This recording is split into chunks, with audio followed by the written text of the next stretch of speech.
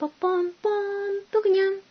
まあ、それにしても、えー10日からですか、10月10日から告示される、えー参議院埼玉補選ですね、参院埼玉補選にですね、これ N 国の、えー立花さんがですね、立花党首がですね、立候補、立候補すると。で、参議院議員は辞職するということでね、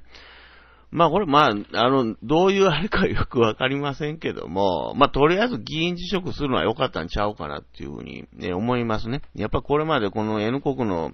えー、立花さんね、あの、いや、僕のとこにも、あの、コメント入れてくれたりとかしてね、それはなんか N、NHK を壊すということに対しては、えーそういうスローガンはですね、まあ良かったし評価もしてたんですけども、ただやっぱこれまでのね、あの、区議へのこう、脅迫でですね、まあ事情聴取されたりとかですね、またいろいろね、あのーまあネットでの暴言とかですね、まあそれもひどいと。これはやっぱりね、あの、多くの人の支持を、あの、得られることはないんじゃないのかなと。ね、実際 NHK での世論調査とかの支持率でも0.2%ぐらいで、まあ、数字になさ20万票ぐらいと。ということで、やっぱり N 国が、やっぱりまあ、あのー、立花さん自身は100万票、100万票も取ってなかったですね、参院選でもね。90万票ぐらいで、えー当選できたと。まあ、0.2%でしたっけ ?2% の政党要件ですかね。えーもうそれもクリアされたということで、まあ、それはすごいなとは思ったんですけども、まあ、やっぱり、あのー、矢継ぎ早にこう話題を提供せなあかんのかなんか知りませんけども、まあ、それはちょっとね、やっぱり、あの、ひどいなと。うんまあそういう意味でもね、まあ、議員辞職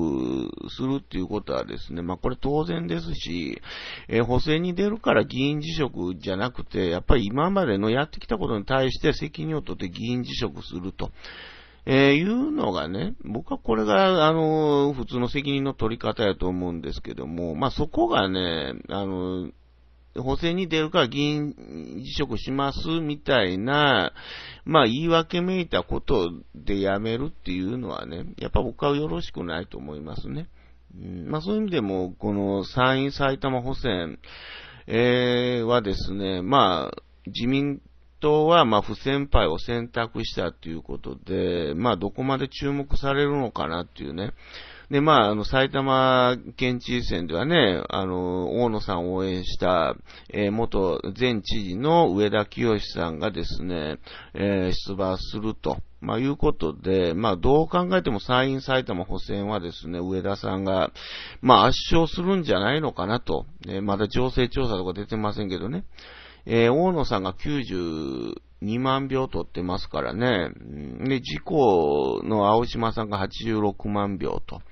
んで、N 国の、えー埼玉知事選に出た浜田さんという方が、まあ、これ、今回、立花さんが辞めたことによって繰り上げ当選するんですけども、えー、得票率3.3%の64,182票しか取ってないということからしても、まあ、これでね、立花さんは勝てるっていうふうに、まあ、まあ、言ってるだけだと思うんですけども、まあ、どう考えても、えー難しいんじゃないのかなと。まあ、投票率はぐっと下がると思うんですよね。えー埼玉知事選でも32%ということで、まあ、今回、えー自公が不先輩を選択したということでですね、えー埼玉、参院埼玉補選はですね、まあ、さらに減ることが予想されると。まあ、その中で、まあ、N 国の立花さん、立花さん自身は人気ありますからね。まあ、浜田さんよりは確実に取るだろうということは予想されるんですですけども、ただ、まあ、言っても10万とか20万とかね、20万いったらすごいんちゃうかなと。うんでまあ、おえー上田教師さんは、まあ、えーまあ、す、それを上回るですね、90、90万票いくかどうかわかりませんけどね。うんまあ、あの、まあ、圧勝するだろうなっていうのは、あの、見込まれるっていうのが今の感じじゃないのかなと。えー、いうことでね。いや、やっぱり僕はね、やっぱその立花さんとか、あの、たまにね、僕の YouTube にもコメントくれたからっていうわけじゃないですけども、やっぱりね、政治家としてね、やっぱきちんと、あの、自分のやったこととか言ったことの責任というのはね、きちんと取らないと僕はダメだと思いますよと。それがね、そこをうやむやにしてるから、やっぱりその、ダメなんじゃないのかなと。いや、僕はなんか、ホリエモンとかね、なんかいろんな人が、あの、立花さん持ち上げたりとかしますけども、まあ、それだってね、そのネットだけの評価はね、あるかもしれませんけども、やっぱり史実とかから見てもですね、まあ、そこまでかなと、えー、いうのはね、あの、僕は思いますね。うん、いや、僕はやっぱ N 国がもうオワコン化してると言っていいんじゃないのかなと。まあ、ネットだけの人気はね、すごい、これからも、あの、たびたび、まあ、都知事選に出たりとかでしてですね、次の選挙とかでも、あの、ネットでは盛り上がると思うんですけども、ただもうマスコミが、えー、あの、そんなに取り上げてないっていうね、やっぱりね、なんかちょっと、あの、やり方が僕は間違ってたんじゃないのかなというふうに気しますけどね。うん、やっぱそういう意味でも、あの、僕はもう、ダメなもんはダメと。えー、言わざるを得ないかなっていうふうに思いましたけどね。まあ、上田さんがね、まあ、上田さんがどこまで得票できるかっていうのも注目ですけどね。うん、まあ、自民党も上田さんを、えー、なんていうんですか、まあ、二階、二階さんとも仲がいいということで、まあ、自民党からも票が流れるんちゃうかなと、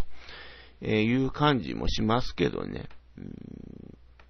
まあ、立花さんが何秒取るかっていうのはね、まあ、そこが興味ありますね。えー、思った以上に取ったらですね、まあ、まだまだ、その、N 国人気っていうのはあるのかなと思うんですけども、ただ、えー、そうはならない可能性のが高いんちゃうかなと、えー、今のとこはね、思いますけどね。うんまあ、やっぱりみんなからこう愛される感じになったらいいと思うんですけども、いや、そうじゃないっていうね。まあ、そこがね、やっぱりダメなとこっていうか、え、っていうのは思いましたけどね。チャンネル登録よろしくね。